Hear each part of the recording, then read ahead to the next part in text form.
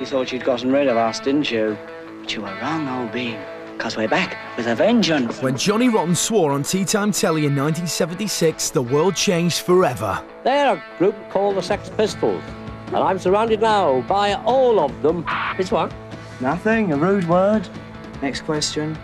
No, no. What was the rude word? Shit. Was it really? Good heavens. Go on, you've got another five You seconds. Say dirt- something You outrageous. dirty fucker. What a clever boy. What a fucking rotter.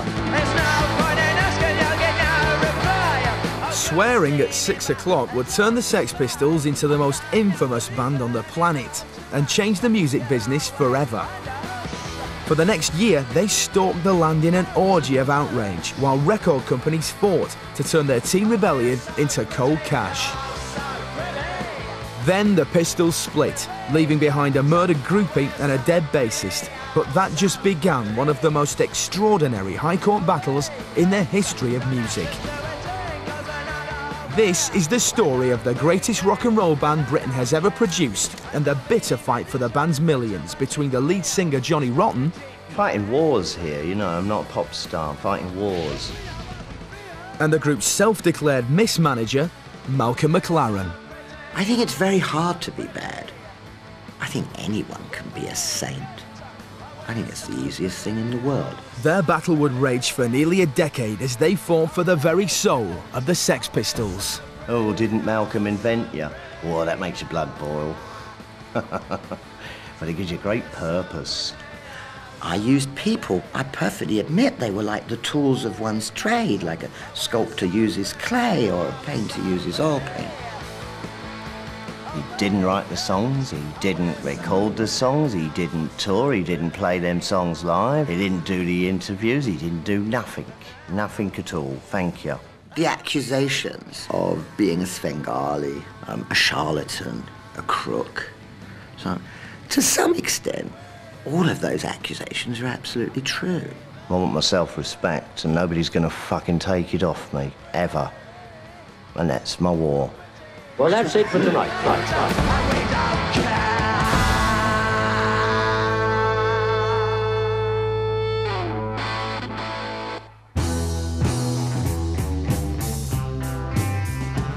Britain during the 1970s was rubbish. It had bad music, bad fashion, and there was nothing to do. It was the perfect breeding ground for a revolution. And the revolution would start in a small London shop called Sex, run by art school dropout Malcolm McLaren and his girlfriend at the time, the fashion designer Vivienne Westwood. The war between Johnny Rotten and Malcolm McLaren started in the shop on the first day the two of them met. The Sex Pistols, the band Malcolm was managing, were desperate for a frontman, and Johnny was a regular visitor to the shop. Vivienne said, There's a guy, Malcolm, you should check out. He comes in the shop regularly. His name is John. And in walked a guy who I kept looking at, and I thought, well, he's got something about this guy. Never really got on with him, never knew much about him. You know, there's just some weird little bloke in lace. Black lace. Oh, how kinky. I said, Do you sing? He said, No, only our tune, like a viol, an our tune violin. I mean, uh, repulsive. You know. I said, Well, do you want to meet a group? Do you really want to, do you want to do something? Johnny's audition was unconventional to say the least. Gave John what appeared to be a dead shower head, and I said, Stand at the end of the shop. Grab hold of this shower head, and you bloody better look like you're on stage and you're singing this song, and you sing it out loud. If you know what's good for yourself, otherwise this guy here, Steve, is gonna beat the fucking shit out of you. Was fucking terrified. And he got hold of this shower head, and on came the song. Alice Cooper's 18. He had this sort of attitude that, that, that, that, that made him look kind of crippled, vulnerable. I loved it. Like the rest of the boys in the band, Johnny Rotten was just a teenager when he joined, and with Malcolm as a manager, he was in for a rough ride. I wanted to fit in and be everybody's friend, but that wasn't to be.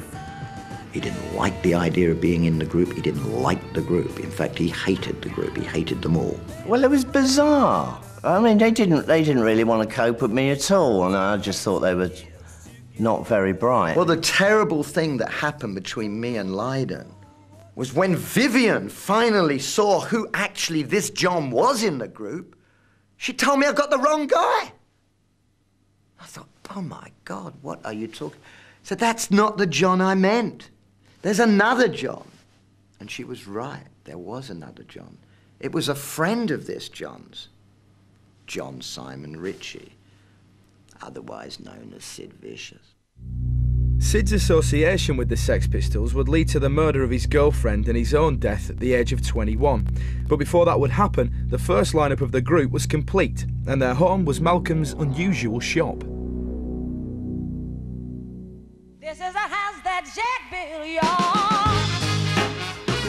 Remember this house? Right, they used to make nice, wacky, weird gear, and the only way you'd ever see that anywhere else was sex shops, pervert shops. whips, chains, cock rings. We're going to sell pornography on T-shirts. I'm going to turn the whole shop into a place that looks like an asylum for sex addicts. All right, so it was, it was a kind of a cheap thrill to young kids, I suppose. We're going to sell rubber. Malcolm employed 15 year old Glenn Matlock to work in his shop. Glenn was to play a pivotal role in the story of the Sex Pistols, as it was while working for Malcolm that he met the other two members of the band, guitarist Steve Jones and drummer Paul Cook. Steve and Paul were childhood mates who formed the core of the group years before and were looking for a bass player, when they weren't trying to from the shop, that is. Steve and Paul used to come in, and basically I see it as my job to stop them thieving stuff. But I overheard them talking to Malcolm, and Steve wanted to get Malcolm involved. Malcolm's going, well, how far you got then? And Paul said, oh, well, Dell, the bass player, never turns up. And I was learning the bass, and I said, well, I play bass. So we got chatting, you know. I was learning to play bass. I had a bass. Here I had this boy, Glenn, and here was two guys. And if the group were going to go anywhere, the teenagers needed decent kit to practice with. Was simply equipment that had been thieved from all over London at various gigs of various homes of appointed rock stars, Keith Richards' house, Bryan Ferry's uh, studio, uh, David Bowie's shows, uh, Rod Stewart's house. Whether by accident or design, with Johnny Rotten on board, the Sex Pistols were complete.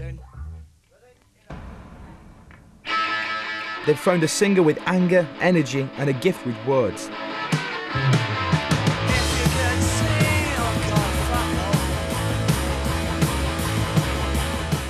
Thanks to Steve and Paul, they also had some of the best kit in London, if not the world.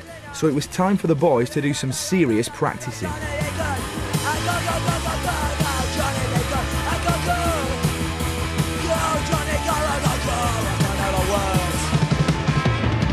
And I was in Malcolm McLaren shop, and I had a melody mate, and there was a little advert, and it said £10 alley, premises to let. What was it? It was £5 a week. Right. I said, Malcolm, look at this. He said, call the bloke up, offer him a thousand pound without seeing it. So I called him up, and I said, well, look, I think my, I'm calling about the advert, and I think my mate's mad, but he said to offer you a thousand pounds without seeing it. He said, I think we can talk business. Don't think he ever got his thousand pounds. This is Denmark Street, the place the group practiced and lived before they'd ever played live.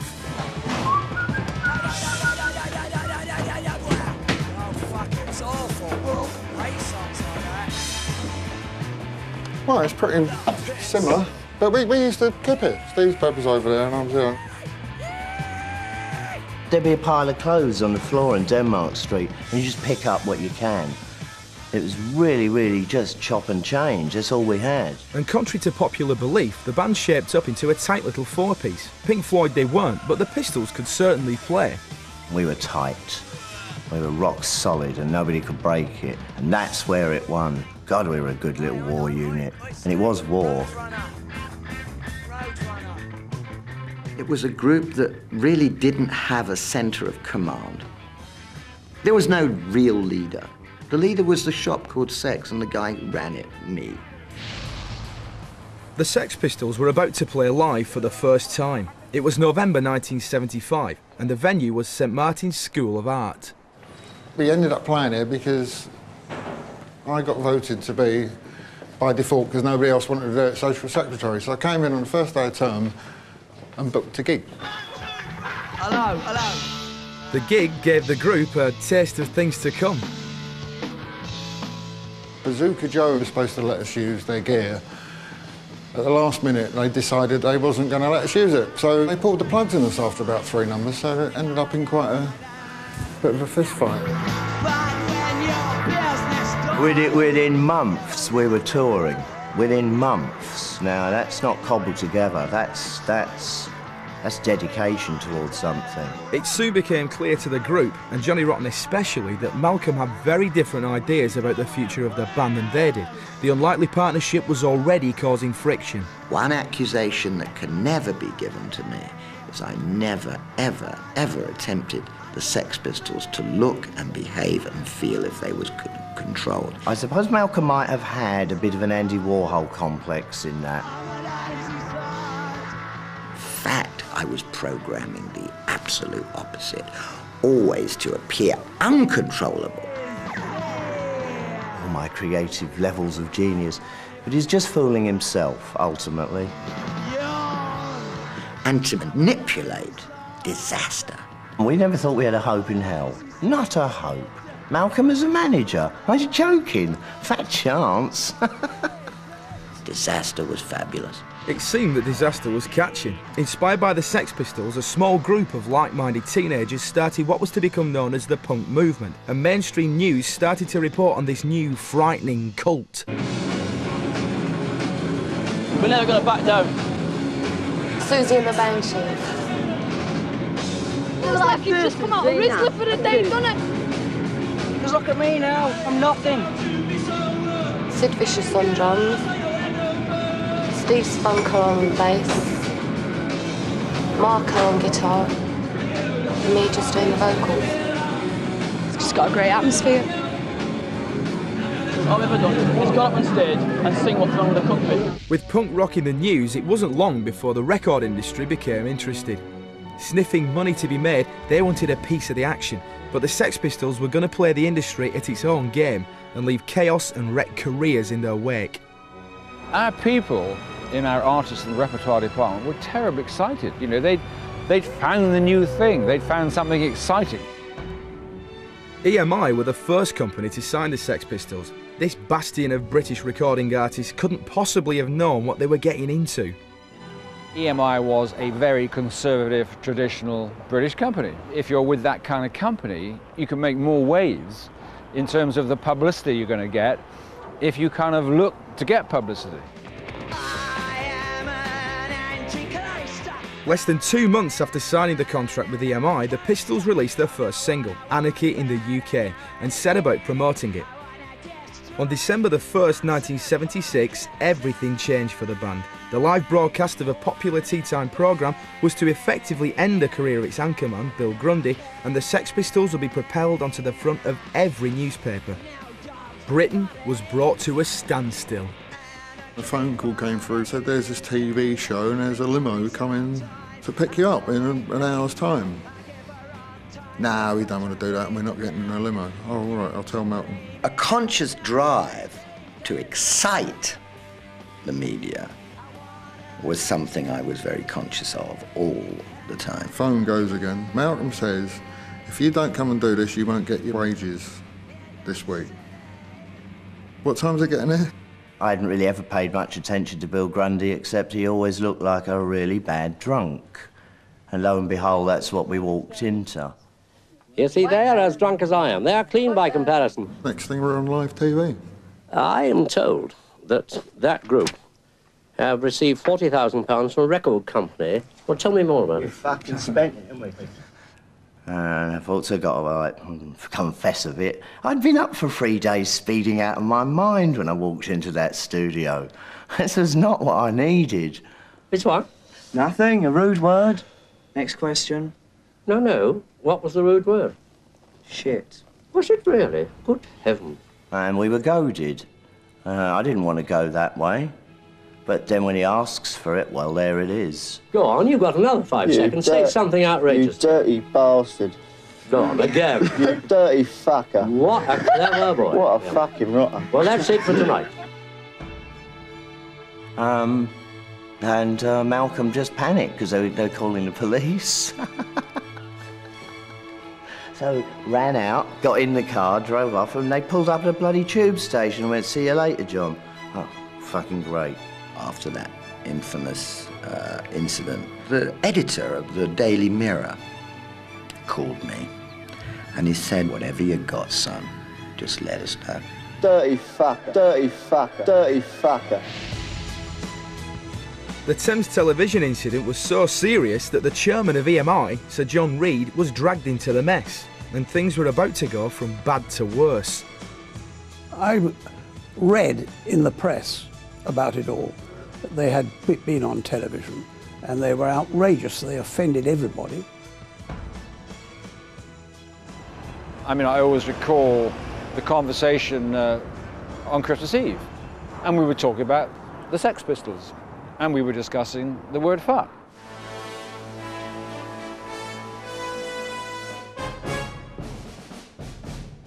EMI was a huge record company, but it was even bigger in terms of the electronics it developed, some used for military applications.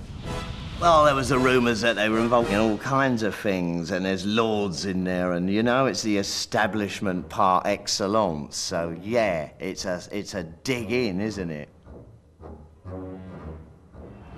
You had members of the staff from the electronic side writing to the staff newspaper complaining about having a sister company involved in the Sex Pistols. Dirty fucker.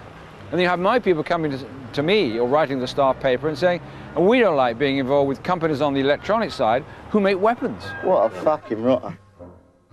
It was a fiasco. It was a world we weren't prepared to deal with as a band, and Malcolm never really bothered to address that um, because he was really like up to his own thing, his own like seeing himself as an art object.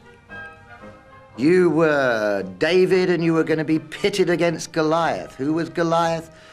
The engine, so to speak, of this industry, the heart and soul of the EMI Manchester Square head office.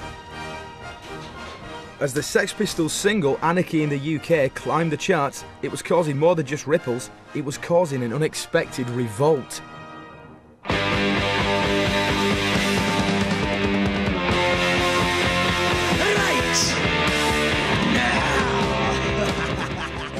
Their records that they had released were quite unacceptable to the average person. In fact, uh, there were examples of protests from this from all over the place. That when they meet the Lord Jesus Christ, repent of their sins, and make him Savior, they don't just get purpose for this life, they get purpose for the next.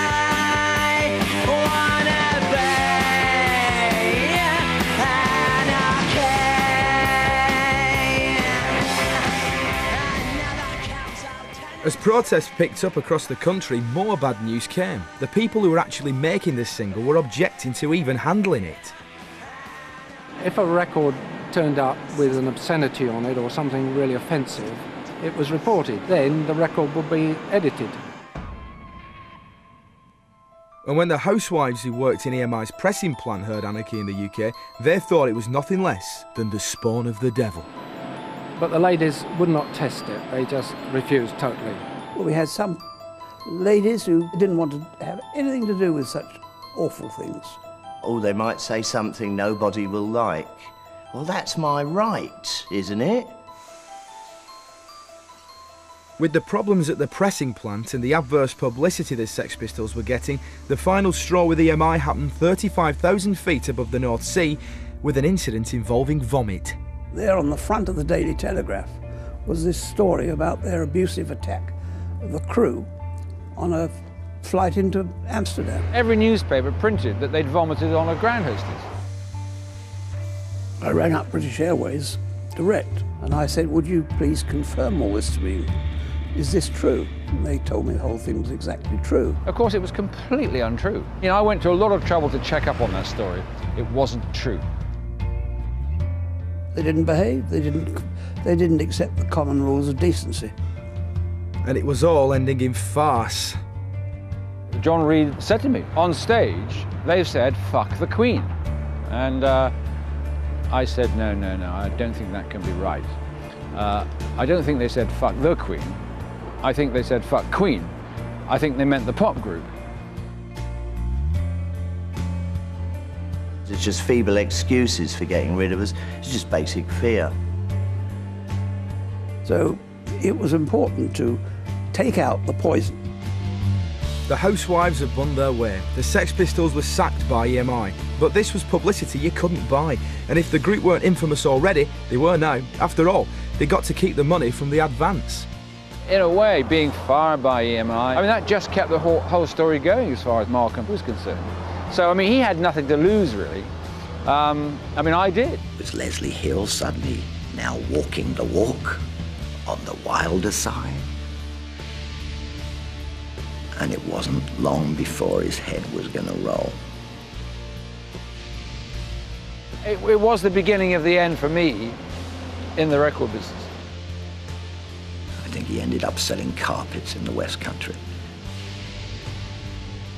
After leaving the record industry, Leslie Hill used his skills in a very different way. He eventually became the chairman of ITV, one of the most powerful jobs in the country. To this day, he's never sold a carpet in his life.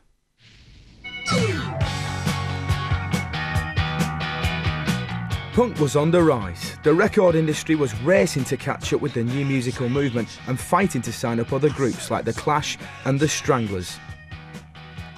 But for the Sex Pistols, internal battles were already beginning to tear the band apart. Glenn Matlock was a promoter of the Beatles and ABBA.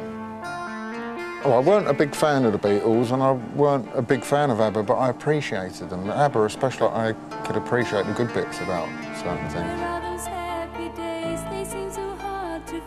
There was a bitterness and a real hatred of Glenn towards John and vice versa.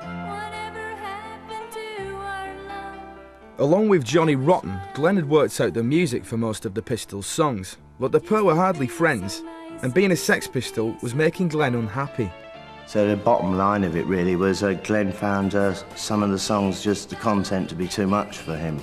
Tensions were running really high. We were all pretty young. There's a lot of like teenage anger thrown in now. And some very dubious management moves. Glenn seemed to be too nice, basically. Kept worrying about his mother. The girls at work started calling her Mrs. Sex Pistol, which didn't go down too well. And Glenn told us this story when he was looking glum here and there. And of course, hoping to engage sympathy, he got the exact opposite. What he got was a gigantic slap. Malcolm's this kind of guy who is never happy unless there's some kind of intrigue or something going on, and he was stirring it up. And when it gets into that, it becomes like Chinese whispers. You don't know what really was said at all in the end. Nobody really fired him. He was being pushed into a corner and they were testing to see if he was going to leap. And I had a meeting right at the end, and they said, can't you just get on with John? And I said, well, no, I'm not going to pretend. I thought oh, either back me up, well, I don't care. Tried to sort this out since, but the problem is, is he said, she said. Glenn Matlock, who'd been with the Sex Pistols from the days of the Kings Road and Denmark Street, was still a teenager. And his decision to leave the biggest band in the country wasn't an easy one to make. You know, it's not as though it had been two weeks long up to then. It had been best part of two years. Did it hurt? I don't know if it hurt. I mean, there's there's an expression, more trouble than it's worth. For Glenn, it was over. He had other ideas. He thought, listen, I wrote all the songs, I wrote all the music. Absolutely true, Glenn. He did, because he was the only guy who was willing to do any work. Rotten, of course, scribbled a few lyrics, which were great. And that's why the Sex Pistols didn't ever write anything very much after Glenn departed. He's in a bad position, isn't he, Glenn? Because he left and then Sid came in, and let's face it, Sid's talents were limited.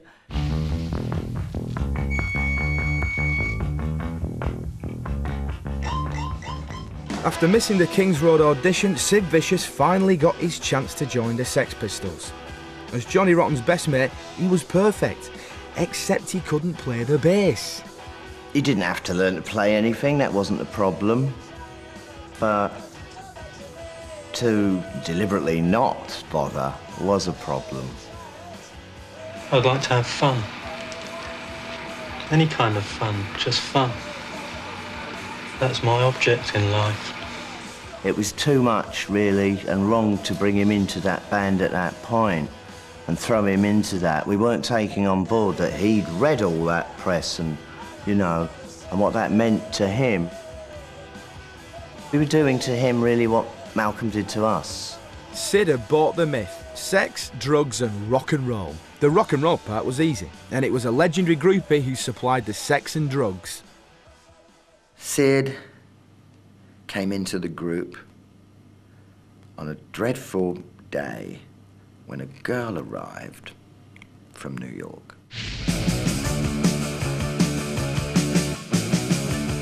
And the girl was the infamous Nancy Spungen.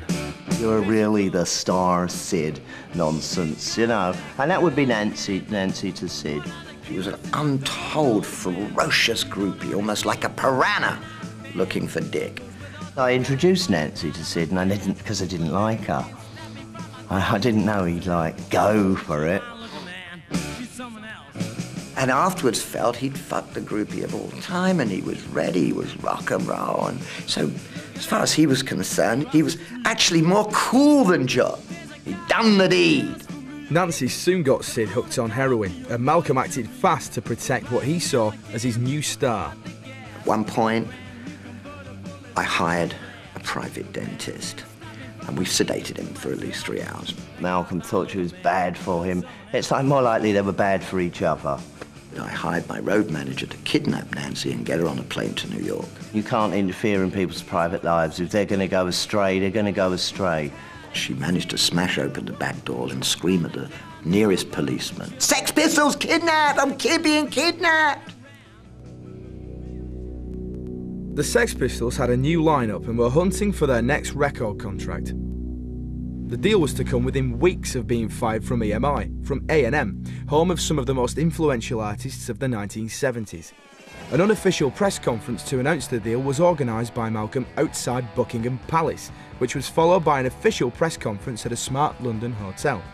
It was a real eye-opener for Derek Green, the man responsible for signing the group, sitting behind them while they fielded questions. I'm not easily shocked. I've been in rock and roll a long time, but I was really caught by surprise. you know, they just threw drinks, spat, whatever at the journalists in the front, and how intimidated the world's media was by. Them. They were literally intimidated. They didn't want to ask questions.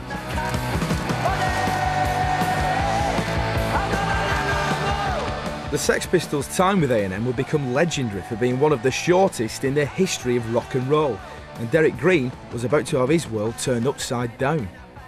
The, si the signing of the Pistols uh, was, was clearly a very personal crusade. The firing of them was even more personal. On the strength of the demo tape, Derek had agreed to sign the group without first meeting them, and just hours before he did, there was another surprise for him. Malcolm then uh, said that, of course, it's not Glenn Matlock, it, he's out the band. Uh, I was just flabbergasted. Well, who's coming? He said, it's, it's uh, Sid Vicious. And I said, well, what did he play like? It's my first thought. You know, he's a good player. He said, well, he can't.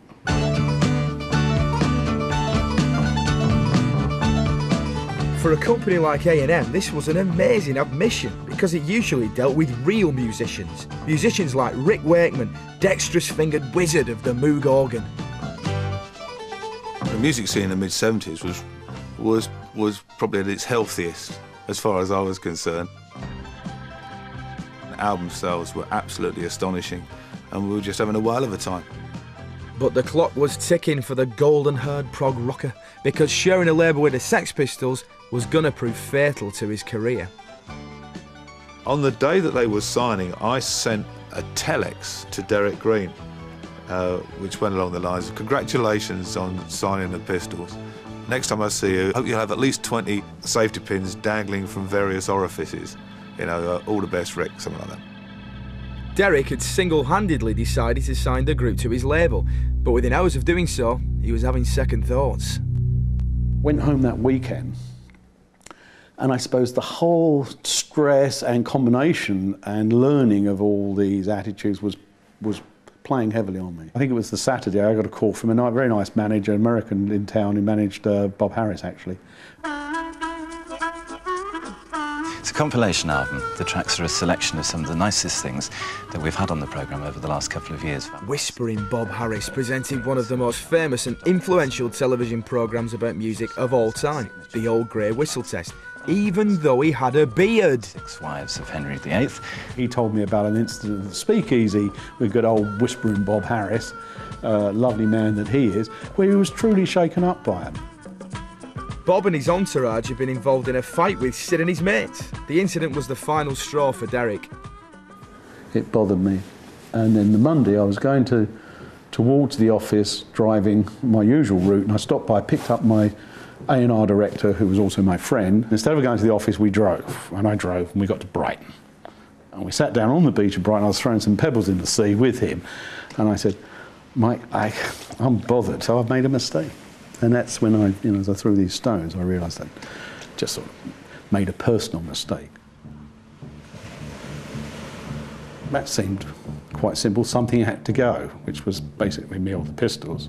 Derek called his boss across the Atlantic in America and offered his resignation, but he'd been with the company through many successful years and it wasn't accepted, so the Pistols had to go. They'd been with the label just seven days. Next thing I, I heard, it's all going horribly wrong. We met, I think it was at noon, or rather dramatic, round the table, and I had a pre-prepared press statement which said A&M press release, and it said A&M fires the Sex Pistols. And I just passed this piece of paper around the table, looked at Malcolm, and said, "This meeting is just to fill in the gap, which is called how much." That was it, seven days? Oh, that's not bad, is it? Getting fired after seven days and keeping the money from the advance again got the Pistols even more publicity. But for Rick Wakeman, there was trouble because someone somewhere had seen the telex he'd sent to Derek Green.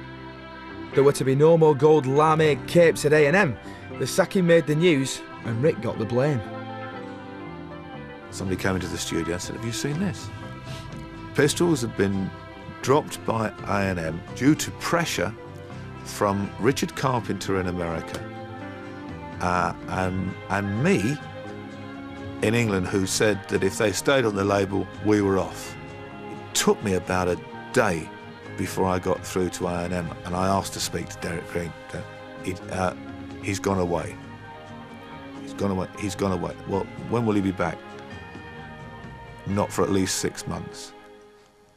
When I went off from that meeting, I literally ran. And I went no particular destination other than to hide. Talk about never mind the bollocks, I've been kicked in them. Derek Green hadn't made up the story about Rick, but no one knew who did. And I walked out of there now with a career in tatters and also no contract. Yeah, you thought you'd gotten rid of us, didn't you? But you were wrong, old bean. Because we're back with a vengeance. God save the Queen, my son.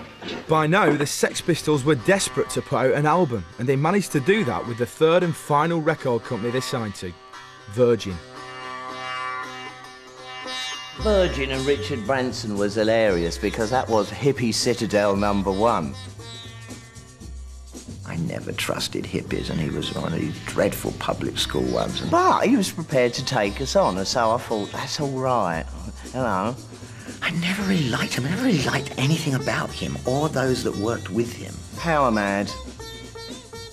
Power mad. A bit Malcolmy, actually. A bit Malcolmy, Branson.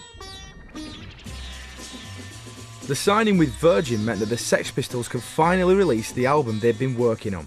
It was called Never Mind the Bollocks. Here's the Sex Pistols. Virgin at first loved it because Branson was all over putting the posters on, on all over his stores. There was a sense that somebody, somewhere, was going to declare this kind of work bad behavior, and it shouldn't be an album that should be on such display. A Virgin record store manager was taken to court under an indecency law which dated from 1899.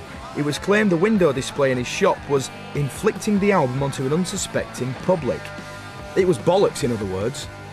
And that's why the word bollocks was taken to court. And thank you, Richard, because he backed us on that.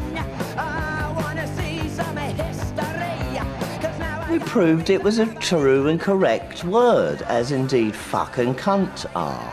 It's, it's there. Everybody uses this language. How on earth can it be banned? Actually, I think, looking back on it now, if it had been declared illegal, blasphemous, actually at the time I would have preferred it. Virgin and the Sex Pistols won the case after proving that the word bollocks had a proud history and was even ancient Anglo Saxon slang for a clergyman. But Malcolm wasn't interested, feeling it was a fight for Virgin and not himself or the band. This attitude was to drive another wedge between him and Johnny Rotten. But Malcolm didn't show. And after that, I went to a Nottingham radio station, and that's when I dedicated a Cliff Richard song to the no show McLaren. It's not funny, we don't talk anymore. Excellent. Please play it. It's still one of my faves.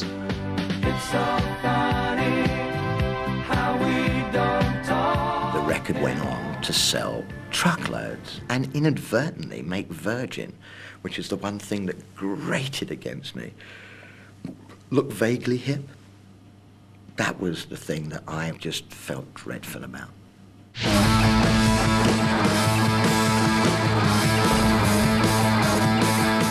The Sex Pistols released their first single with Virgin called God Save the Queen to coincide with the Queen's Jubilee Week. It was immediately banned from many high street stores. But something even more sinister was happening. MI5, the British Secret Service, were watching. This is the MI5 building. This is where I worked from 1994 to 1996. Uh, it's responsible for stopping terrorism and espionage and subversion in the UK. A lot of the uh, hardcore anarchist groups in Paris did actually praise at one point um, the fact that they thought God Save the Queen was virtually their record. Looking down this enormous list of files, I happened to see a file called Subversion in Contemporary Music, dated 1977. Seeing the date and seeing the title of the file, I thought this would be quite interesting. It surprises me how governments waste money. All right, and investigating a pop band is really, really, really childish and ludicrous, and it shows that there's something fundamentally wrong with this country. What it had on it basically was details of the Sex Pistols. Most of it was taken from press clippings, mainly from Time Out, I have to say. But there was some information that was gleaned from secret sources like telephone taps and so on. I remember setting up in a pub with these Russian journalists and some of their friends, which I'm certain were part of the members of the KGB.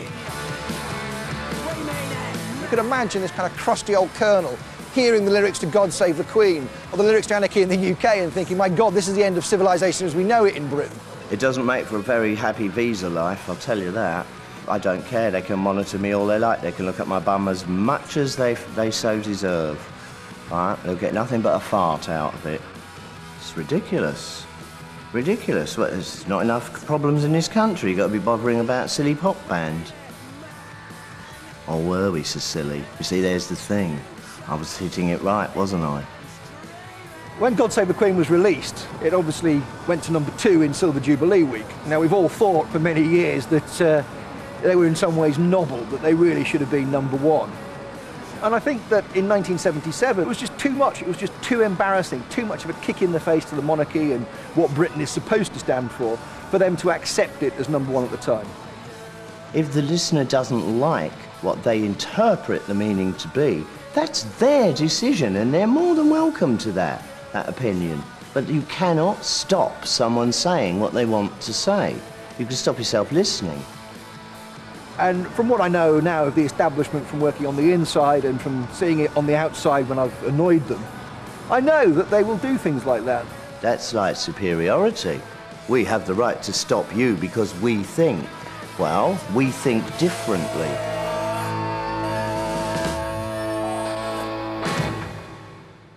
This is First Cut is the deepest.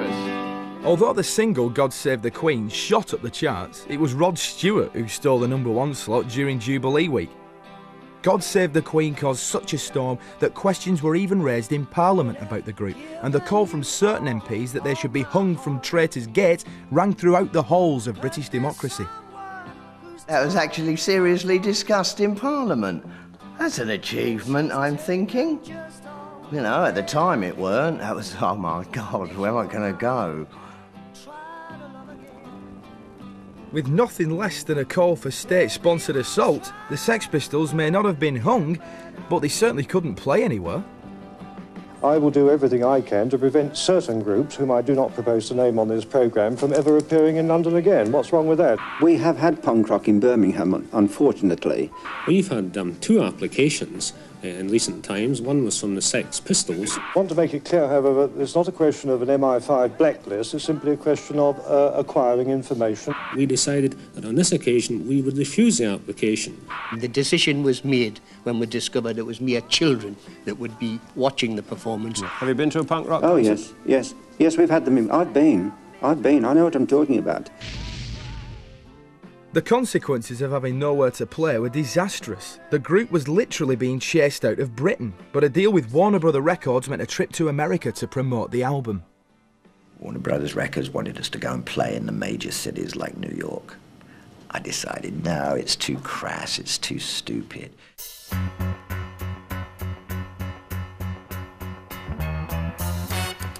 Couldn't play England, because there was nowhere left to play. Europe was out. Head to the States, maybe that'll pull us together.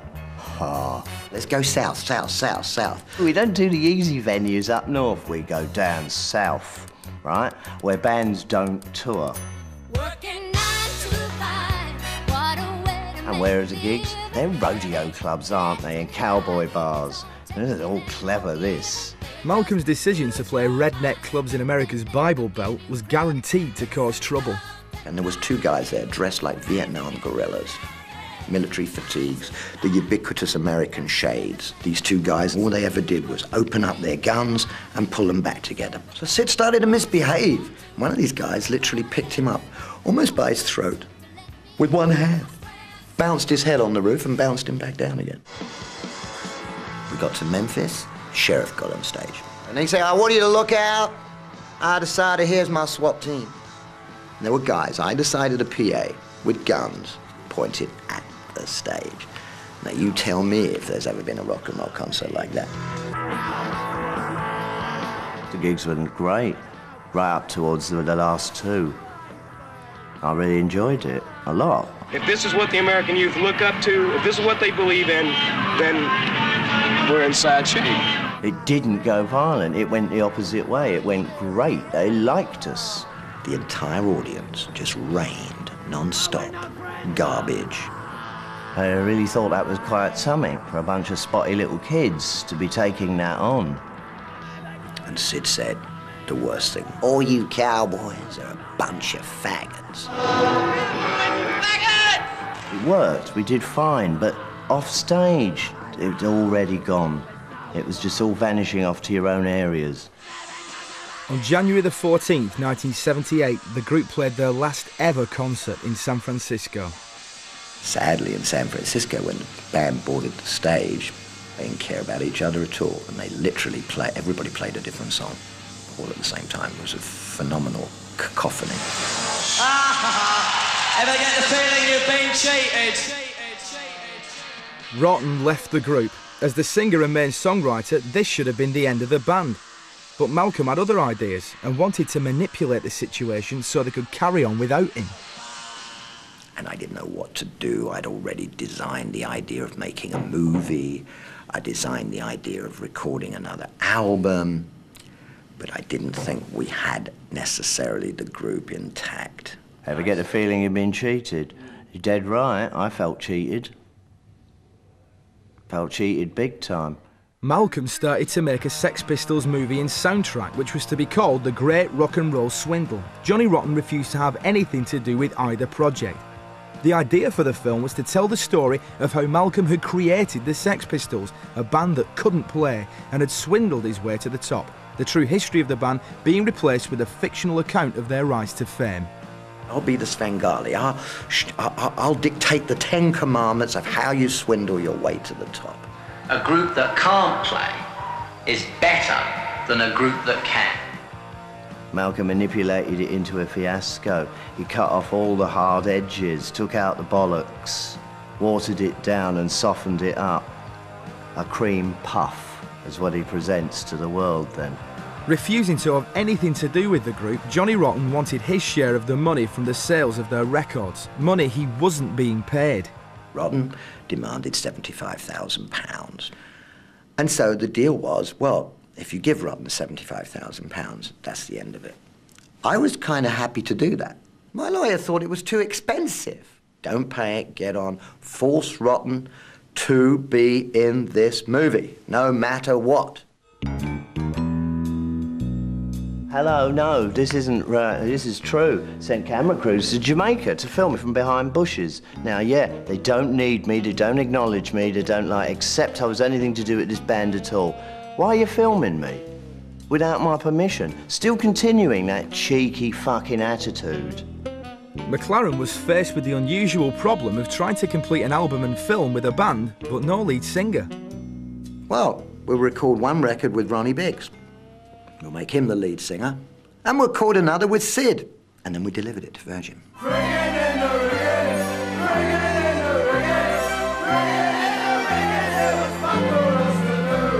How can you, how can you like it? There's nothing in it. It's, that is a con. That is a swindle. I've always thought so.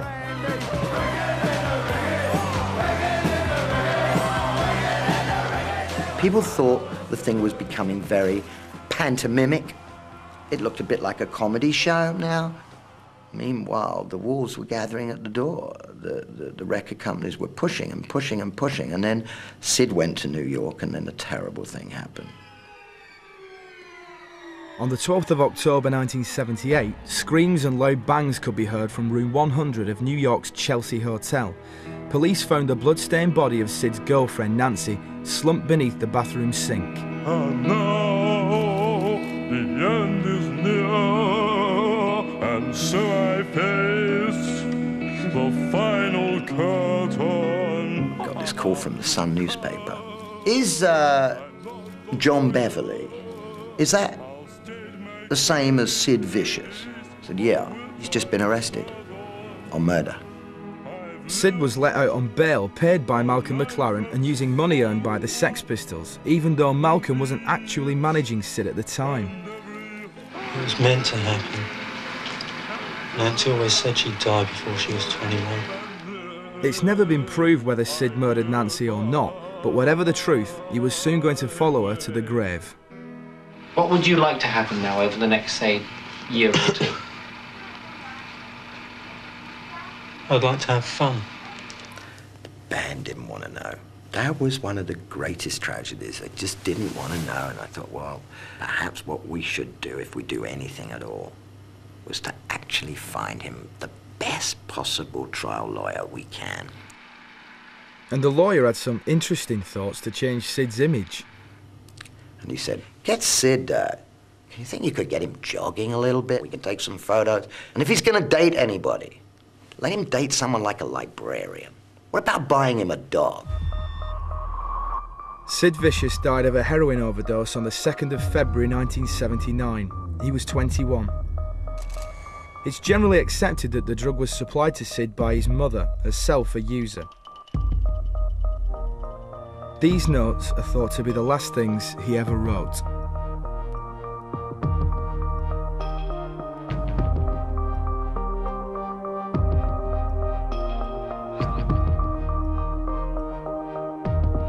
He got it wrong. He got it wrong. He needed the, the drug thing to to hide his own his own lack of self-esteem. I miss the silly sausage, but Jesus, he really like went at, at that so wrong and, and made such foolish moves. In a way, I resent him for it. I resent him wasting his life. Many speculations and conspiracy theories have been cast over Nancy's murder and Sid's death, but whatever the truth is, Sid and Nancy had lived the myth and tragically secured their place in the Rock and Roll Hall of Fame.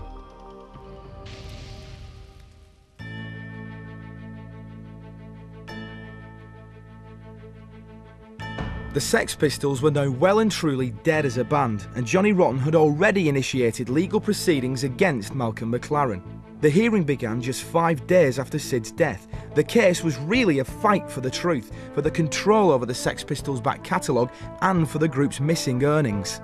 And this is a serious court case. This is about money and corruption and vast amounts of cash being filtered off into other projects which are not necessarily musical. We hadn't really prepared for this so-called court case. We've been negligible in that regard. We quickly tried to get some affidavits from various people. The case from Malcolm's side was absolutely insanely childish. It was. It started out with it was basically scurrilous personal attacks. You know, from the likes of Vivienne Westwood. I never liked him anyway. This is, this has nothing to do with it. You don't like me, fine, but hands off, hands off. What's mine, right? Hello, I wrote those songs, not you. I was absolutely up for it. I don't lie, see? I got nothing to worry about here. I've already had, like, my wallet nicked, right? I just want it back. I, I was sort of vaguely amused by this, you know. This started out as a wonderful gag. Now I was in court with, and I being accused of having manipulated and perpetrated this enormous fraud. I have brought you many things in my time. But the most successful of all was an invention of mine they called the punk rock. Running around pretending he invented us. Uh, invented me? I don't think so. Meanwhile, Rotten's lawyers were portraying him as this white knight, this poor, undernourished kid who'd been taken off by this man, manipulated to join a group with the sole intention of robbing this industry of this, that, and the other. And there was a huge tax bill that was not taken care of. But McLaren had a problem. The great rock and roll swindle not only described how he defrauded the record industry, but Johnny Rotten as well. Why did the Sex Pistols break up on the brink of being a successful rock and roll band? Why? Because we seized our chance in San Francisco to frame the singer, leaving him with the contracts and us with the money. And if that was lumbered on me, I mean, what else tax would come my way that I'd be responsible for but not actually earning on? It's unacceptable. Really, really nasty minded. The script of the great rock and roll swindle was used as part of the evidence in the case and was given to the judge to read. He announced he didn't know whether he was being had, that it was a comedy, or whether it was true. If he was being had, it wasn't bad. But if it was true, it was an absolute criminal act. As the days passed, it started to become clear that things were going badly for Malcolm. They had all these quotes in the press that they particularly garnered to paint even a darker. This man, almost the evilest man who ever walked the planet, was now standing in front of you, virtually Lucifer himself. And I thought, well, that's not a bad way to go, really. I was more than prepared to go in any witness box and say whatever needed to be said, but you know who didn't. And on the final day when I knew there was going to be a judgment, I caught a taxi to the Midland Bank on Oxford Street, where the account was. I withdrew a certain amount of money. I put it in my pockets, my socks, all over me. I was like a walking paper of the Queen. Fabulous way to drift out of this goddamn island. Just stop the fucking spitting. I don't like being spat at. The Sex Pistols are even more famous now than they were in the 70s. Their records are constantly being updated and remixed for a new generation. For a brief period, punk changed the landscape of Britain and the world of music. It proved that anyone could be in a rock and roll band, something that's still with us today. But for Malcolm and Johnny, old wounds can't be changed so easily. He's never been asked to explain it, that's that court case at all, has he? He's never ever been challenged on it. They felt that I had truthfully become Lucifer. I was this devil. I, I had gone too far. I was insane. Um, I'm not. Very noticeable, poignant moment in his life, I would think. You know? After eight years of legal wrangling, the cash and assets finally reverted back to the Sex Pistols. I feel it was a, an incredible miscarriage of justice. Johnny Rotten had won his war. His name really should never have come up after it, ever again, as, as having any relevance or importance. You lost your bastard. Rotten always was a good boy, trying desperately hard to be a bad boy. I've not borrowed, stolen, nicked, put my name on something it don't belong to. He's a nice boy, a good boy. Yeah, that can make me difficult to work with, but those are my standards. It's very hard to be bad. I struggle to be bad. It's hard, but it's worthwhile in the end. So you don't see there being any um, reconciliation with Malcolm after all these years? That would imply there was a friendship in the first place. I make this point? Uh, we seem to have got on to discussing whether punk rock is good music. Now, I don't actually give a damn whether anybody thinks it's good music or bad music. Let's just say business as usual.